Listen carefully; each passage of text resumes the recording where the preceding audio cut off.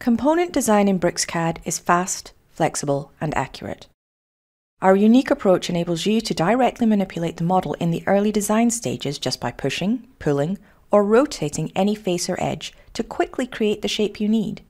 You can then add as much or as little control as you want by applying constraints and parameters, which can be changed to exactly capture your design intent.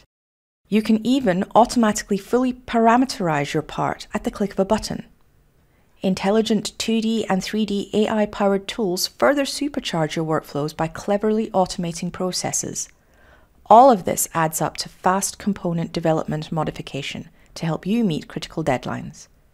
2D drafting and drawing creation is also easy and efficient, allowing you to get the right, accurate documentation downstream to production in as short a lead time as possible.